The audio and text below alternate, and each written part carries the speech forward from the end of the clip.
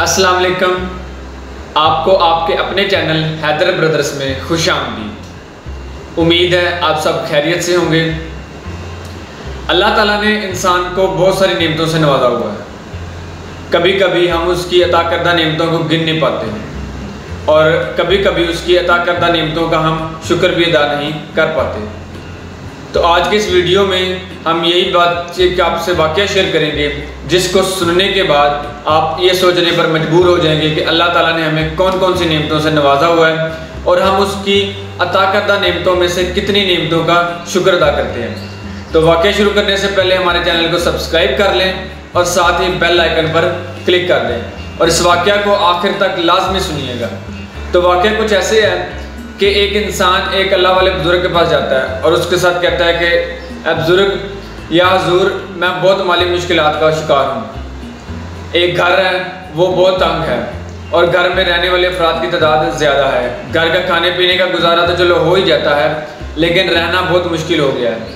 एक कमरा है, जिसमें मैं, मेरी बीवी, मेरे चार बच्चे, मेरी दो बहनें, मेरी वालदा और एक हमारी रिश्तेदार बेवा है, जो मेरे जेर कफालत है। तो रहने का बहुत मसला है।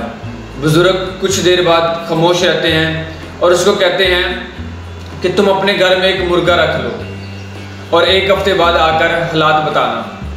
वो बंदा चला जाता है और एक हफ़्ते के बाद वो दोबारा बुज़ुर्ग के पास आता है। कहता है, या हजूर, हालात बहुत तंग हो गए हैं। मुर्गा घर को गंदा भी करता है और सोने भी नहीं देता। बुज़ुर्ग कुछ देर खामोश रहते हैं और उस इंसान को फिर कहते हैं अच्छा अब तुम घर में ना एक बकरा रख लो। वो इंसान दोबारा वापस चला जाता है और एक हफ़्ते के बाद वापस आता है और कहता है, हजूर, हालात बहुत ज़्यादा तंग हो गए हैं। बकरा भी घर सारा दिन तंग, गंदा करता रहता है और बिल्कुल भी सोने नहीं देता है। बुज़ुर्ग कुछ देर खामोश रहते हैं और कहते हैं कि, यार, तुम्हारा मसला तो बहुत गंभीर है।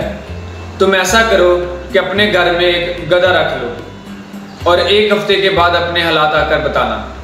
वो इंसान चला जाता है और एक हफ़्ते के बाद दोबारा वापस आता है। और वो इस हालत में होता है, बहुत गमगीन हालात का मारा हुआ कि जैसे अभी मर जाएगा। कहता है, या हजूर, हालात तो बहुत ज़्यादा तंग हो गए हैं। पहले मुर्गा था, फिर बकरा आया। अब गधा। घर को इतना गंदा कर देते रहते हैं और उनकी आवाज़ की वजह से घर में कोई भी सो नहीं पाता। हजूर, हालात बहुत तंग हैं, बहुत मुश्किल में गुजारा हो रहा है। कुछ मेहरबानी फरमाए, कुछ दुआ करें। बुज़ुर्ग कुछ देर बाद सोचने के बाद कहते हैं अच्छा अब तुम ऐसा करो कि मुर्गे को घर से निकाल दो और एक हफ़्ते के बाद आकर अपने हालात बताना। इंसान वापस चला जाता है। वो बंदा एक हफ़्ते के बाद वापस आता है और थोड़ा सा खुश होता है। कहता है, हजूर, हालात अब कुछ बेहतर हैं।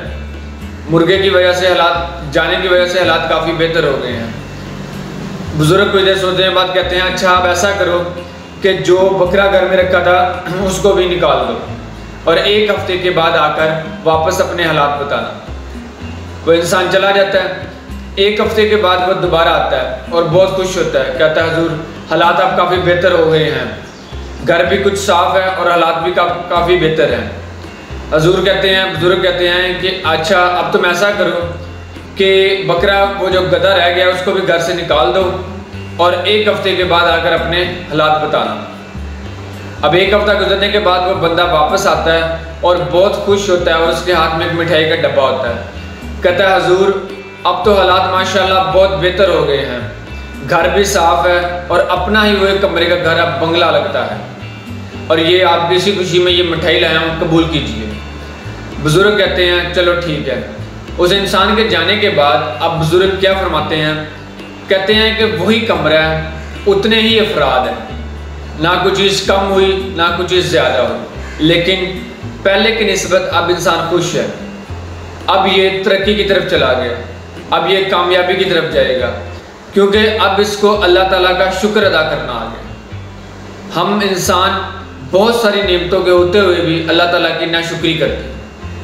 अल्लाह ताला ने हमें बहुत सारी नियमतों से नवाजा हुआ है। अगर एक बंदा एक हॉस्पिटल में चला जाए एमरजेंसी में चला जाए तो वो बहुत वापसी निकलते वक्त बहुत शुक्र अदा करता है। इसी तरह अगर किसी के पास कभी कभी इंसान में लालच आ जाता है, हम लोग किसी से कोई अच्छी चीज़ देखते हैं, कोई बड़ी चीज़ देखते हैं कि ऐसा घर हमारे पास भी हो, ऐसी गाड़ी हमारे पास भी हो, ऐसा बंगला हमारे पास भी हो, लेकिन जो चीज़ें हमारे पास मौजूद हैं, हम उनका शुक्र अदा नहीं करते। इसी नाशुक्री की वजह से हमारे कारोबार में, हमारे घर में बरकत नहीं रहती। और शैतान यही तो चाहता है कि एक इंसान अल्लाह ताला की नाशुक्री अदा करे। अल्लाह ताला के करदा नियमतों का शुक्र अदा वो ना करे और इसके घर में जो बरकत है, जो रिज्क की तंगी है, वो पैदा हो जाए और बरकत ख़त्म हो जाए। हमें चाहिए कि अल्लाह ताला के जो भी करदा नियमतें हैं, उनका हर वक्त शुक्र अदा करना चाहिए। और अल्लाह ताला के मखलूक के लिए आसानियाँ पैदा करना चाहिए। आप किसी के लिए आसानी पैदा करोगे तो अल्लाह ताला आपके लिए आसानियाँ पैदा करेगा। उम्मीद है कि इस वाक़े को सुनने के बाद अल्लाह ताला की नियमतों का शुक्र अदा आप लोग लाजमी करेंगे। पहले भी आप लोग करते होंगे, लेकिन अब ज़्यादा मज़ीद करना शुरू कर देंगे। वीडियो को लाइक करिएगा और इसको शेयर कीजिएगा और अल्लाह ताला आपके हर काम में आसानी पैदा करिए। इस तरह के मज़ीद इन्फॉर्मेटिव वीडियोस देखने के लिए हमारे चैनल को सब्सक्राइब करें और साथ ही बेल आइकन पर क्लिक कर दें।